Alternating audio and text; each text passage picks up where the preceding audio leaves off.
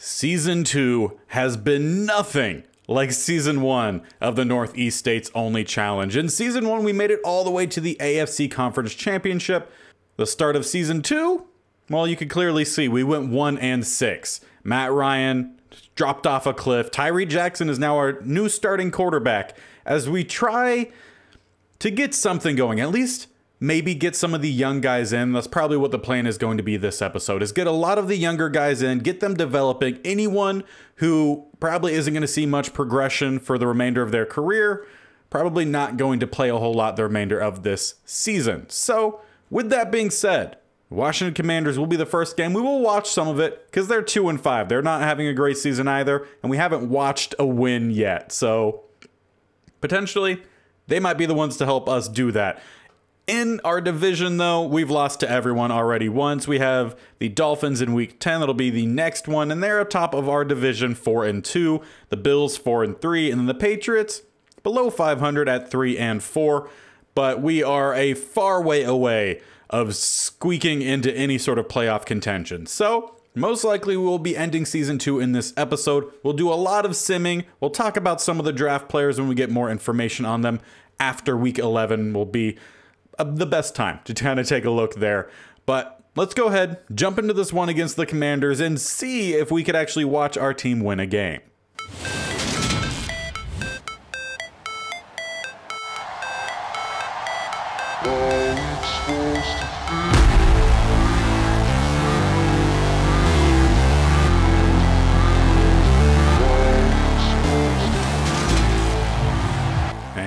Starting on offense. And I did make the changes to the depth chart. It's primarily going to be the young guys over a lot of the older guys who may be a lot better than some of the young guys. But at this point, we're one and six. Doubt the season's going anywhere. So let's try to get some development for some young guys. See if any of them can actually, you know, stand out. On offense, we're going to see Bo Melton, uh, Tristan Jackson, both of those at receiver. Tyree Jackson at quarterback not getting very far. We'll still see both of Dylan and Pacheco. As for the offensive line at left guard, Elijah Wilkinson, he got subbed out with a rookie in Oliver. So we'll see if anyone can make plays, but right now it's primarily the Commanders making the plays with that interception intended for Raymond. I think we'll maybe get into about two different games today, but the most of the episode will probably be uh, talking about the draft, maybe looking for potential guys to trade for as an option. I don't think there's a whole lot that we don't already have, but I'm sure we might find a couple guys who maybe could be some role players for us. But yeah, that's kind of what we're going to do today. Watch a few games, try to just see if any of these young guys can make some big plays, but mostly get ready for next season. We do have two new starters on the defensive line in this game. Westerman, I believe is his name, at uh, right end. He was a draftee. And then Pryor at rush DT, but it's Allen getting the sack here. We'll actually get the stop on Justin Fields. We'll force a punt.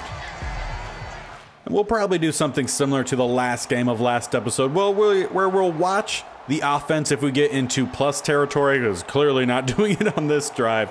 And then defense will watch some if we get if they get in towards the red zone. Basically, just want to see if any big names pop up or some of the young guys pop up. All of the young linebackers are playing as Isaac Yiadom gets the interception. He did get the start this year after, how was it? It was one of the McCourty brothers, retired. So he got the start, and he's you know, been fairly solid on the outside. Tyree Jackson with a nice read option run there, gets the first down. But I definitely feel like we have a lot more younger developing guys over on defense than we do on offense. And some of the ones on offense, I don't know if they'll ever really get into a spot where they could be a rotational guy, but another good scramble here, Tyree Jackson. Still using the same playbook as what we use with the uh, Commander's replacement squad. Hand this one off down the middle. Pacheco has some space with a juke that he did not need. Should have just stuck the foot and got downfield. Would have probably got more yardage out of it. Second and six, though, so a gain of four. Of two receivers down to the bottom will be another run down the middle. Dylan this time we'll get about two, maybe three. With a bunch down to the bottom, one up top. In shotgun, we sit with Tyree Jackson. Will be a rollout pass fumbled. We will jump on it, maintain possession for at least an attempt at a field goal. I believe that was Arden Key who forced the fumble. That rollout pass, I think that might just be good for when you're actually playing, as that one will go through the uprights. We'll jump ahead three to nothing. Still waiting to see if some of these defensive young guys are going to make some plays. All the safeties have been subbed out for the younger guys. I said the linebackers. The uh, first round, was it first round? The first no, it wasn't. It was the fourth round, I think.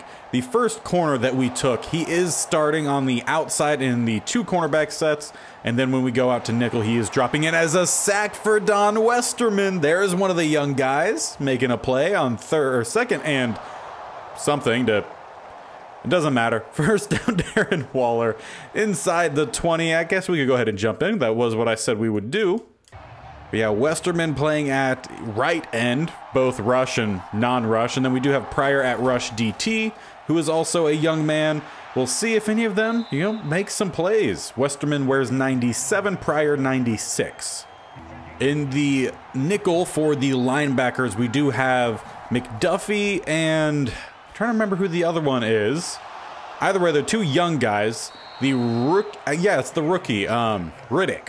He wears 55. He's very much a run stopper, not so much uh, pass cover, but he needs snaps. He needs the chance to get better as they go with a read option. Not going anywhere. That's McDuffie was the stop at the goal line. As they'll come out with trips down below. We bring the double A gap. Are we blitzing? No. We sit. Read option once again, sliding down into the end zone. Now, can we get a touchdown? Yeah, that's something we haven't done as Madubuike gets a sack. Shout out to the Texas only state challenge we did. Fourth and seven, we punt the ball away. So the offense really not moving very well. At least a penalty there and an interception for the rookie. Way to go, Collins. And that is exactly why we decided to make that change. At least these younger guys are to get some XP and develop with play because they're to make plays eventually. As Dylan will get us in, we will finally take a lead in this game up 10 to 7. Now, can we continue to see some good plays? Second and eight, a minus two there. Wish that we saw who got the tackle for loss, but another interception for another young guy. This time, free safety Cam Lewis. Apparently, this is what we needed to do all along, was just put out the young guys. Trips up top, one down below. Tyree Jackson in pistol will go with a draw. Dylan down the middle with some open running room inside the 10 with a nice powerful finish to the run. And then Pacheco will Pacheco in with three up top. I think still that one down to the bottom will be a pass. Tyree Jackson dumping it off to Pacheco, who will eat a shoulder. We'll get two out of it. Two of five for six yards on the day for Tyree Jackson. Not great, but it's fine. We're up right now as Dylan down the middle We'll get an extra couple yards. And on third and goal, we'll sit in pistol. Two up top, one to the bottom. Dylan, the running back. Will we hand it off? No, we'll go with a pass. Well, the draw, not draw, drag that goes to Bo Melton for the touchdown. Hear that a lot in the Commander's replacement squad. He's joining us here in the Northeast. And just like that, we've opened up a two-score lead. Best we've seen this entire series, or entire season, I should say. I was about to say series, but we played really well that first season. Second season hasn't gone the same way as Commanders moving the ball here inside the red zone. Under a minute left here before half. They're trying to claw their way back in. They've had two big turnovers that have cost them a lot. Justin Fields, the quarterback, has been a little inaccurate, or we maybe we've just made some really good plays. But considering pretty much the only incompletions he's had have been the interceptions, I would say accuracy probably hasn't been the problem. Maybe just decision making. As that pass was a little bit inaccurate. Second and goal. Two receivers to the bottom, including a tight end just off the bottom of the line. Fields in the pocket, going to roll to the top. Alton Robinson will force a throw away. Now third and goal with either three or four down to the bottom. They're tightened up top. Fields in the pocket will go underneath, and they'll get a few out of it, but not a whole lot. But they will settle for the field goal to at least make it a touchdown game. Kicking just inside the 12 would be about a 22 yarder. That one is up and good. Now, with two timeouts and 16 seconds, offense decides to run it into half. That works out fine, I guess as we have to kick off. So defense will need to do their job to hold on to the lead. Five yard penalty to start us off doesn't help. First down gain there by Hawkins. Another five more yards. Second and five. Seven yards, Robbie Anderson. Another seven yards, Hawkins. There's A lot of seven happening. Five yards, Hawkins. A lot of running for sure for them. Surprised they're not letting a lot of running happen with Justin Fields. Third and 11. Pass thrown away. Do they go for the field goal? They do, and Myers misses. So we'll take over close to midfield. Two yard rush by Dylan. Then a penalty by Quay Walker will set us up at the 50. We'll go ahead and, and start simming a little bit. I want to get into the fourth quarter here. Third and two, not good enough. Fourth and two, we lose three yards. Apparently, we went for it, so not great. Sinclair will then lose two. Three yard rush Fields, third and 10, throwaway. So a stalemate so far in the second half. Two and a half minutes left in the third. As they did a pretty good job of booting us deep. Again, we don't move anywhere. They haven't they haven't moved anywhere, but now that I say it, watch them go for about 56 yards. Okay, or six. I got the six part right. Another throwaway. Neither side moving the ball very well here the second half. It's been primarily defense. Third and six. 10 yard penalty. That's not going to help us out. Go ahead and punt that one on back. Commanders with probably their best field position they've had in a while. Third and one. Fields converts. First and 10. Knocked away by McDuffie. Second and 10 minus four. Third and 14, a sack Alton Robinson, and they should be out of field goal range. They do punt. Again, what can we do on offense? Jeff Smith, first time I feel like I've seen him today. Sack Nick Bosa. Second and 17, three yards. Third and 15, 14 yards. I want us to go for this. I mean, we have Hughes check on the roster. Might as well use him. So, Fullback dive here on fourth and inches works out pretty well. The line does what they need to do, and that'll convert, keeping our drive alive. Again, jumping back on into the quicker sim with about four minutes left. We have a lead. Murphy Bunting knocks the ball away. Third and six. We get four. Want to go for it again? Tristan Jackson, the potential receiver here. We could also hand it off, and let's go ahead and do that. Or apparently not. We're going to keep it, but Jackson breaks to the right-hand side, has space, and will dip out of bounds. A late hit. He stepped out before contact was made, but no flag comes down. But with us down to the 18, let's continue watching here. A bunch up top will be a handoff down the middle. Dylan with some space, a lot of space. A great block there by Jeff Smith, and we'll go up two touchdowns not a lot of time left in this one. Now let's just see if the defense go ahead and hold it. Under three minutes left. We're up 14 points. We don't have to do anything crazy. Just do the little things right and we should be fine. Zero yard gain there, which we just saw as we hit the two minute warning. Four yard rush. Third and six. They get 13 with Darren Waller. Four more yards, Brandin Cooks. They definitely have some good guys. They should be playing better than what they are. Hawkins with 13 inside the 10. Throwaway. Less than a minute left on the clock. Touchdown for Zacchaeus. But they need the extra point, which they get. Now they need an onside recovery, which they do not get. Now, can we just go ahead and run this one on nine yards on the first one? Will definitely help us out. Second and one will be game. We win our first watch game. Surprisingly, it comes with most of the young guys, the backups, getting the start. And I think a big part of it is the three takeaways that set us up for two easy touchdown. I'm pretty sure they were touchdown drives. At least you'd sure hope so, because they were really close to the end zone. Now, so far this episode, we're 500. Against the Bengals, we lost 35 14. Against the Dolphins, 45 23, another loss. But then the Eagles, we won 35 28. Now, it was not a great game for Tyree Jackson against the Bengals. Three interceptions on 220 passing yards, only completed 52% of his throws. Rushing, though, not a bad day for Dylan. 4.3 yards rushing, two touchdowns, did have one fumble. And the receiving game was, you know, just spread out amongst a handful of players. Defensively, though, not a bad day for Isaiah Duffy, led the team with 11 tackles. We did only have two tackles for a loss, though, one by Duffy and one by Allen.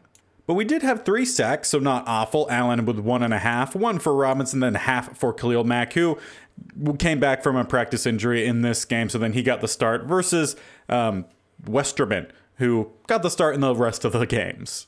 Against the Dolphins, Tyree Jackson had a better game 277, two touchdowns, one interception, completed 61% of his throws. Rushing game, was okay. Tyree Jackson, 3.4 yards a rush, only 2.7 for Dylan, who did have a touchdown, but another fumble. Hunter Long, though, big day receiving, 86 yards on six catches for a touchdown. Kalif Raymond also had a touchdown. Riddick, the rookie linebacker, led us in tackles this time with 12. Had two tackles for a loss with Alton Robinson, and then a bunch of other players with one. However, no sacks. Now, in the game we won against the Eagles, Tyree Jackson 216, two touchdowns, one interception, and completed 75% of his throws. Dylan, much better game, 7.5 yards a rush with a touchdown. Jackson only ran the ball eight times, 14 yards, not great. Pacheco, four of nine, also not great, but he did get in the end zone. So there's that. Also, no fumble for Dylan. Receiving Bo Melton, 75 on seven and a touchdown, and Hunter Long, 61 on four and a touchdown. And Alton Robinson and McDuffie tie for lead tackler with eight. Alton Robinson had two tackles for a loss, one for Collins, Westerman, and Rogers and only one sack Alton Robinson. But we did get two interceptions, one for Collins and one for Dennis. Now we're here in week 12. We have a late bye in week 14, and we'll continue to sim through some more. Probably just watch the two games, the first one and then the last one. But I did want to stop and have a, a update for our prospects. And unfortunately, the quarterback, the only quarterback we've had available in either of the draft classes, was a day three. He's gone down to a potential undrafted. However, maybe there's still a chance he could potentially be better than who we already have. Doesn't have a lot of throw power, but has some speed. I would say probably similar to a Matt Ryan type of arm strength with C medium accuracy, B to C short, and C to D deep. Is it going to be great? I wouldn't think so, especially with D accurate or D awareness, but potentially we end up getting him anyway. But one guy we will definitely need to pick up is Kyrie Gatewood, the receiver. 6'3, 226, 21 years old out of Boston College. A round one projection, but a top five talent. He does not come in with a lot of speed, but has great strength, jumping, solid change of direction, and pretty good agility. Acceleration isn't great either. And what did he say? 6'3, 226. I feel like it'll be a little bit small for a tight end, but he does have some really good ratings.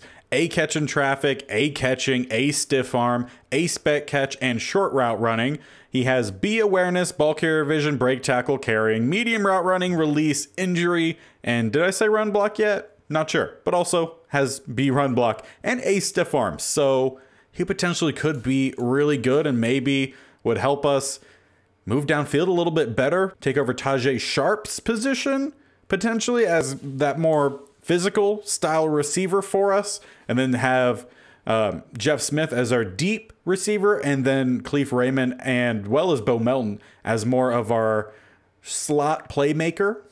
But there is a tight end. Speaking of moving, possibly moving that uh, receiver to tight end, and Elliot Pittman out of Princeton, who's 6'5", 245, 23 years old. He's a day three guy who doesn't have tremendous speed, at least top end, might be solid with good acceleration. Strength is okay nothing spectacular, but I'm seeing some very good ranges here. So we'll keep an eye on him as well. Hunter Long has been okay for us, but hasn't been phenomenal. And in a similar kind of step with left tackle Luke Gabriel, his, he has good size, 6'6", 333, 23 years old. He does have good to great strength, so that part's good. And he does have some decent ranges here. Pass block, B to a D, same for pass block power and run block. The run block, though, doesn't look to be great, so he probably will be a developmental guy, but still, we need some depth on the uh, offensive line, with B awareness also really solid. Now, unfortunately, on the defensive side, not a whole lot. There was a day three DT in Kashawn Dorsett, who has D block shed and power moves and C finesse, so not looking great there. The linebackers also don't look fantastic. Mitch Dent a field general with C to F block shed and D zone. And then we had Dwayne McGill with C to F zone F block shed. So the linebacker is not looking that great either. There maybe will be some guys with some decent attributes as for potential undrafteds, but a lot of the guys who were projected draftable don't seem to be great. Again, there's Pittman at tight end, Gabriel at uh, tackle. The receiver looks pretty I mean, he looks really good. For being honest, he looks really good. He's not a down the field guy. He's more of a short intermediate guy, but still can be really solid. And maybe we pick up another running back. We only really use two, so we don't need to. And David Wells, I would like to pick up just so we have another guy to develop because most likely Matt Ryan's going to retire. And then there's Dolegala as I think the only other available quarterback for us in Madden. Now, everything after the Eagles game was bad. Chiefs, we lost 35 24. Bills, we lost 34 28. Bucks, we lost 38 14. Texans, 33 28. Loss. And Patriots, 21 14. Loss. So we're in week 18. Has not been a great season by far, near opposite of what we did last year, where we actually won our division, went to the postseason, all the way to the AFC Conference Championship, and we've won three games since the divisional round last season. Not good, but we will finish off against a really good offense in the Los Angeles Chargers. Their defense, about average. We're going to put in, again, all young guys. I don't care. Just put out the young ones, even if they are garbage. We're going to give them a shot. We're going to see how they play. And that's how we'll round out season two. And our day begins on offense. Very similar to the first game we watched, going to be mostly the same players. Really, only ones that have been switched out even more are the receivers, where we will see uh, Tristan, Tristan Jackson as well as uh, Bo Melton as the number one and two. We'll see a little bit of some Andy Isabella, but that pass was intended for, but uh, apparently Tyree Jackson didn't know what height he was and threw it to a guy who'd be similar height to him. So hit off the top of the cornerback's head. Third and four, we're going to roll out. Might as well just go ahead and keep running or throw it out of bounds. I guess that works. We'll punt.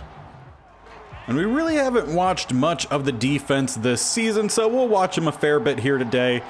We'll go through the first two uh, possessions, one of each side, and then go from there. But Ekeler might be gone as he is streaming down the sideline. Finally, Collins will force him out as well as Lewis.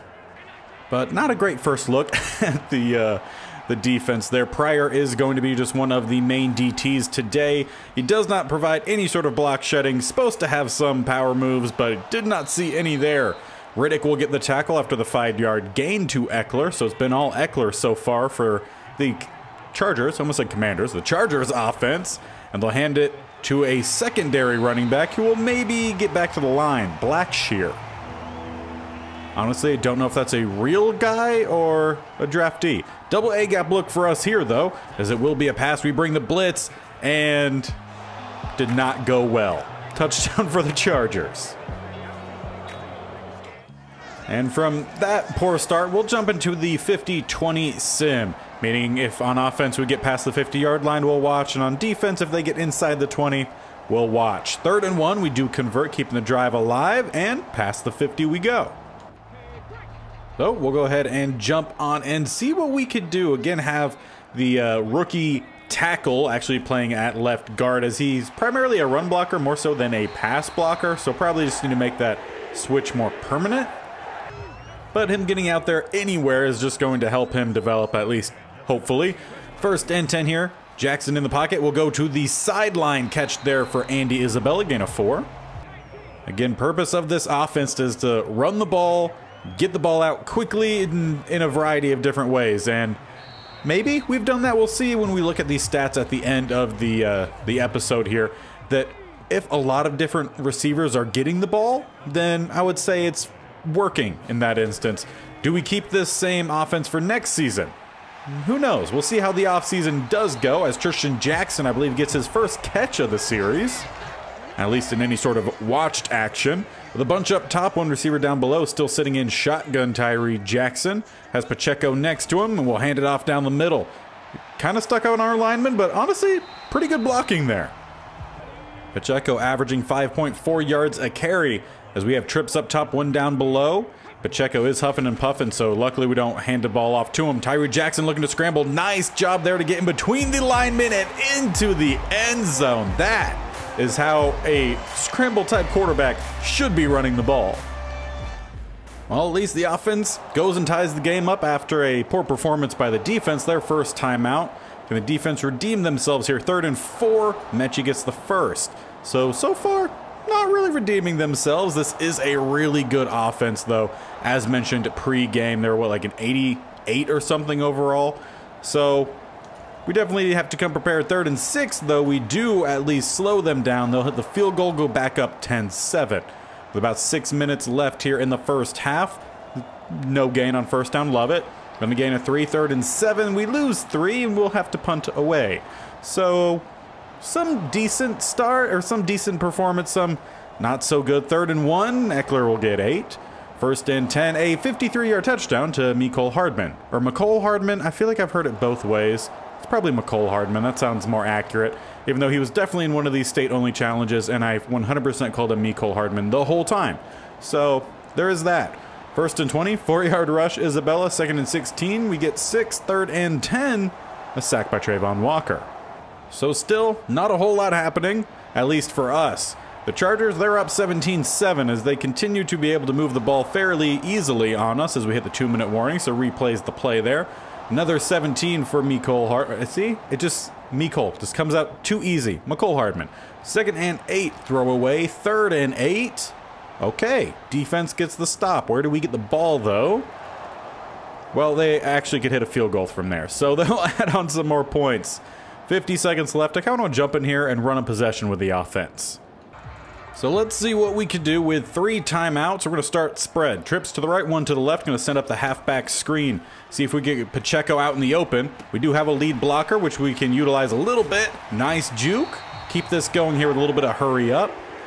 We do have all three timeouts, but kind of want to save them a little bit. Jackson has a good arm, so hopefully he can get this over the top. Really nice grab there, Andy Isabella. That we'll call a timeout after. All the way down to the 33, so at least into field goal range here. Let's actually have Isabella go on a full crossing route here as we need to get rid of it, and we don't. We'll take the sack instead, call the second timeout. Really didn't hold down the block on that right side for very long. And that is Chris Lindstrom, who is our better lineman. As we're going to go out to Bo Melton here, who will get something. I'll have to call our last time out. Now just eight seconds left, third and 19. So it hasn't been great since we ended up getting that Andy Isabella catch. But how about Bo Melton? One hand grab spinning.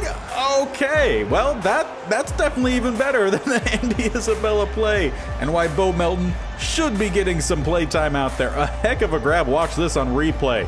Tyree Jackson places the ball in a really good spot. Only Bo Melton was getting that, but still took a heck of a play fighting through the defender as well. Now, even though that was a great play, we are still down six points as we head on into halftime.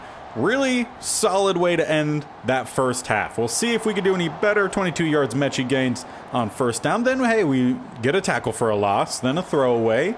Third and 12. Good job defense. They get the stop. Now, offense, can you do something without me being in control? Three yard gain by Pacheco. Six more Andy Isabella. Third and one. We lose some yardage, but hey, let's go for it. I mean, what's it really going to hurt here if we end up not getting it? We will go ahead and flip the formation, though. I want the possible screen going to the open side.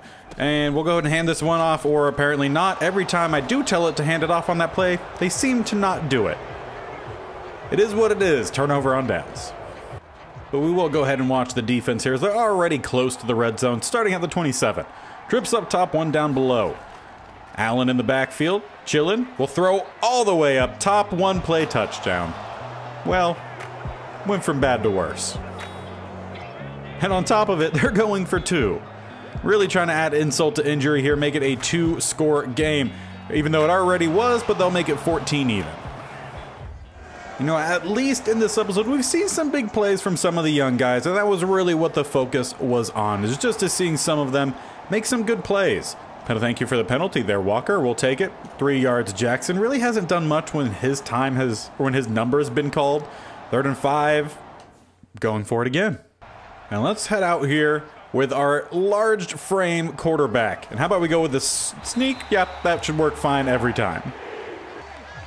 And we'll go ahead and watch the remainder as we are into plus territory. Tyree Jackson, I'm really interested to see what his stats look like at the end of this game as fumbled, recovered by the Chargers.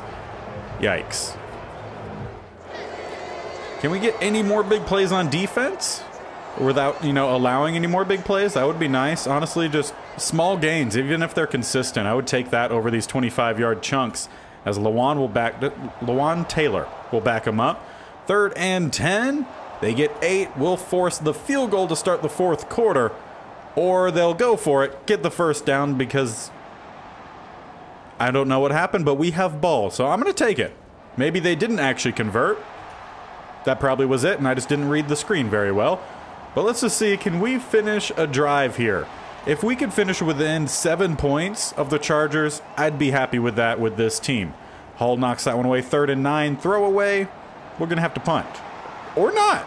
Tristan Jackson finally makes a big play. He's only had a couple short gains that we've seen. Finally gets a nice chunk. Third and nine. Andy Isabella, 39 yard touchdown. Okay, that's what I'm talking about. Now, defense. Can you possibly give us a chance here late? Starts with a short, or decent run actually there by Ekeler. And then Metchie gets 12. Gonna need to probably force a turnover. That'd be the safest way to ensure we have another offensive possession. Third and three, they get eight. So Amon-Ra St. Brown. Second and seven, four more yards, another third and short, which we do get the stop, and they kick the field goal. Good. So unless we can score quickly and get the onside, Tristan Jackson will put us into plus territory. So let's just see if we could do it. But if we can get the touchdown quickly, get the onside, or potentially even just kick it deep to him and hope our defense gets the stop, we might have a shot late. Hunter will get the catch, turn in, and we'll get some. I honestly probably would have preferred him running just out of bounds there. Instead, it sends us inside the two minute warning. With a bunch down below, the tight end up top. Single back is Pacheco. Jackson will go underneath. Gonna go with Hunter Long, who cuts in. Again, go out of bounds. Thank you do have to say Tyree Jackson is 16 of 20 on the day, which is not bad for a 65 overall quarterback. As he goes deep across the middle, caught first down Andy Isabella as a flag is thrown back behind the line. On our highest rated offensive player, Chris will back us up. First and 20 are racing a huge chunk play. We'll have to try to do it again. Jackson going up top, going to find Hunter Long who again cuts in instead of just getting a couple extra while going towards the sideline. We'll waste about 10 seconds there, as we will snap it as quickly as we possibly can, and then throw out of a sack off the back of Lindstrom. Maybe a little bit of frustration there from Jackson, throwing it off the back of his lineman who didn't block very well for him, and also had the penalty. Third and 15. Jackson lofting that one deep. Man beat. Okay, we're still in this. Tajae Sharpe really hasn't gotten much done this season after being a thousand yard receiver for us previously. But he might make things interesting here late. Now, can we get the onside? If they recover this, they'll basically already be in field goal range and we kick it right to him. So now defense will have to get tackles for a loss. That's pretty much all we can allow. Or not really even just allow, but do. We don't, really allow tackles for a loss. We get tackles for a loss. As they're going to motion over their tight end as a lead blocker. Down the middle, Ekeler goes for a solid gain. Still stumbling around. First timeout called. Now second and five. Again, we need some tackles for a loss here. Probably doesn't help that we have a guy with no block shedding in the middle at DT as they run right at him. But he actually did pretty well against the double team there. Second timeout called, leaving about one, maybe two yards left here on third. And they'll come out spread. Three up top, one down below. We have the double A gap. Can we get the stop? It will be a pass and knocked down. That not only stops the clock, but keeps the first down. They will go with a field goal attempt. So a touchdown, if this is made, would be needed. Snap back, hold down, kick is up. It's looking iffy, but they're through. Or, just kidding, it was wide left. Really bad angle. I wish they would change that, but we have a chance here. Jackson gonna scramble, going towards the top, slides down. Okay, well, let's get back to the line rather quickly. we know that we could hit a 60 yarder with Dixon. He did it for us in season one. We might have to see him do it again if Tyree Jackson could get around the edge, but he can't. Will be a sack. 10 seconds left. We have to call a timeout. With 10 seconds, we need to get to about the 40. Jackson's route could do it. No other way to stop the clock. We could potentially have Bo Melton going a deep out. That would only get us to the 50. We'll see if we can get on the end of one of these. One on one. Jackson to the sideline. Can't bring it in. He had it in his hands. If only he got the catch, we could have hit the field goal. Instead, now all we can hope for is a miracle with a Hail Mary attempt. Jackson has the arm. We just need the blocking to block, which it's not doing. Jackson trying to scramble, cannot get away from Walker. I'm pretty sure that's who. No, it's Nick Chubb, actually. Either way, it will be a loss to end the season, but at least they made it interesting. And perhaps that just goes to show this team maybe isn't as far away of turning the corner and getting back to more of what they were able to do season one, with maybe just a few adjustments. Now, overall, not a successful year. Offense was dead last. Defense was actually top 10, which a little bit surprising. We definitely have some, I think some more guys on that side that are at least more consistent. But let's go through the stats. Tyree Jackson in his almost near full year start, he actually did he end up starting the whole time? Because Madden sometimes messes with the playbook. He at least had about double of what uh, Matt Ryan had. So yeah, ends up being fine. But he ends up about 2,500, 2,600 passing yards. He had 16 touchdowns, 12 interceptions, completed 63% of his throws. Matt Ryan ended again with a lot of interceptions, tied for the amount that he had touchdowns. Just overall, the quarterback play wasn't great. And hopefully that will improve next season. We'll see. AJ Dillon ended up with 851 rushing yards, 13 touchdowns, 4 fumbles. Pacheco, 6 touchdowns, 1 fumble, but only 134 carries, 440 yards. So his average was definitely not as good as Dillon. Tyree Jackson did have a rushing touchdown, 3 fumbles, and, you know, not doing great there either. Uh, Kyle Juszczyk, two rushing touchdowns. Raymond had one rushing touchdown, but fumbled twice. And Bo Melton had a rushing touchdown. Receiving, it was a step back for Raymond and Smith, but the offensive scheme changed and they still put together a really solid season. Raymond does lead us in touchdown receptions with nine. Smith only had three. Hunter Long had four with 546 yards on 51 grabs, so at least averaged a first down a grab. Very similarly with Bo Melton, who had three touchdowns, Tajae Sharpe almost entirely disappeared from the offense, which is fitting considering the receiver that we're going to most likely draft next episode. Isabella had a few, a few catches, one of them for a touchdown, but nothing too spectacular. And Pacheco really didn't get involved much in the passing game this year. The Pacheco down was gone. The brothers Lindstrom really didn't do great. 17 sacks allowed for Alex Lindstrom. That is one a game. But Chris Lindstrom, who is again our highest rated offensive lineman, highest rated offensive player, allowed 16. So really not that great. But then a big steep drop off to Pert, who had five. Three in a short span starting for Oliver, so he's definitely not ready yet. Uh, Wilkinson, two. And Zion Johnson, really good with two. Defensively, we were led in tackles by our corner Isaac Yiadom, so that is not very good. Rogers 81, but also we did switch out some of our starting linebackers about midway through. So McDuffie being third, really solid. The rookie Courtney Riddick, Riddick being uh, fourth, again, really good there. Tackles for a loss leader was Alton Robinson, who did play the full season. Zach Allen, despite missing the first, I'd say five, six games, solid.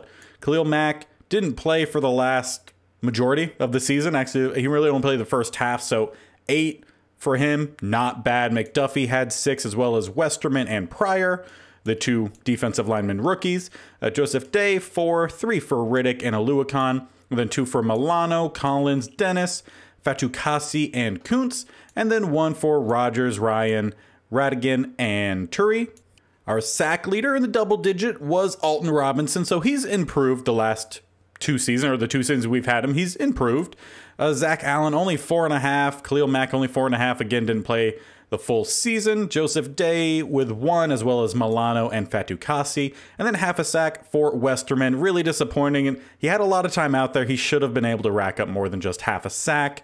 Rogers had half, Turi half, and Will Harris with a half.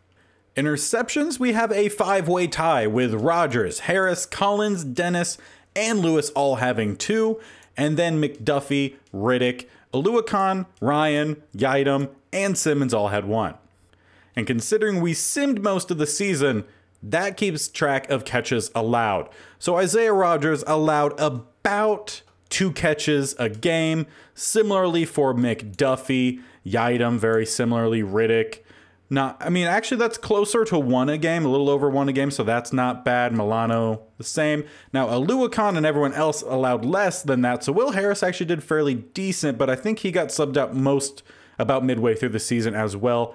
Collins, he looked really solid. I think we need to find a way for him to continue to be a starter for us next season. He started a good chunk of the season, only allowed 11.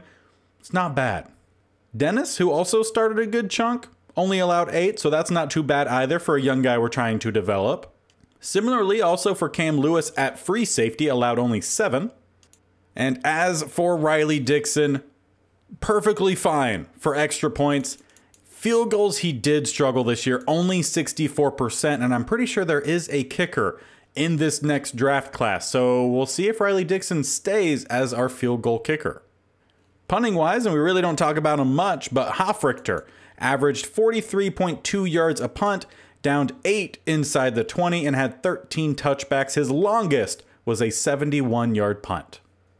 And to finish this episode, I just want to talk a little bit about potential moves we can make in the offseason. So that way you can let me know if these are moves you would like to make.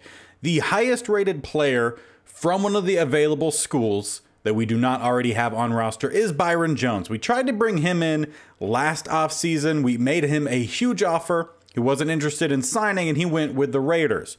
Potentially, we maybe make a trade, try to bring in him, and then have Collins start opposite of him and then go to the slot whenever we go to nickel. That's always an option. The next highest rated is Harold Landry III, currently with the Steelers. He's listed as a right outside linebacker, and he is a speed rusher. He has 86 finesse, 77 block shed with 78 strength. I would say more so of a true edge guy, and he has at least some ability to cover 60 zone. Potentially, we bring in him. We we have not seen a lot from Khalil Mack, at least when it's been in the watched portions. In True Sims, he's actually done fairly well. Now with Pitt, he's had some tackles for a loss and some sacks. It hasn't, you know, haven't been awful. He actually had three interceptions this last season, so that is interesting. But something we could consider to maybe do. Try to bring in another edge guy. Maybe it could shake up just our our defensive line in general. There is also safety John Johnson III. And we potentially will actually have two of our safeties retire, the ones who were playing over at strong safety. So we might be forced to make a move for someone like John Johnson just because we have a need at safety. Considering he has 85 speed, I feel like he would fit more so over at that strong safety position. But those are the only available players that we don't currently have on our roster already who are in the top 100. So there are definitely some other guys who are a little bit lower down that we might be able to bring in who could potentially be role players. If you know someone that's not on this team that you would like to see on this team, you can let me know down in the comments section below. But this is where we're going to leave it off. This season did not go very well. 3 and 14, almost exact opposite of last season, but we expected that it would go downward with a lot of guys either retiring, their overall dipping due to regression, or a lot of other different factors. But just in general, it was kind of expected. So hopefully this offseason we could bring in some guys with some big impact like the receiver who is a top 5 talent with a round 1 projection. We should have no problem picking him up. Fingers crossed, knock on wood. So make sure you guys subscribe. Either scroll down below and hit the subscription button or just tap my bear icon in the bottom right. But make sure you hit the bell icon so you're notified of when these videos go live. This series posted every Wednesday and Saturday. On Monday and Thursday, I have the Commanders Replacement Squad series. And then Tuesdays and Fridays on FIFA 23, we have our My Player Career, our Noob to Pro, where, you know, we're not doing too bad considering I hadn't played FIFA since FIFA 14 and then obviously FIFA 23. So make sure you guys check out all the Series 6 videos every week. And until next time, where we really need to find a way to improve this team, we'll see you then.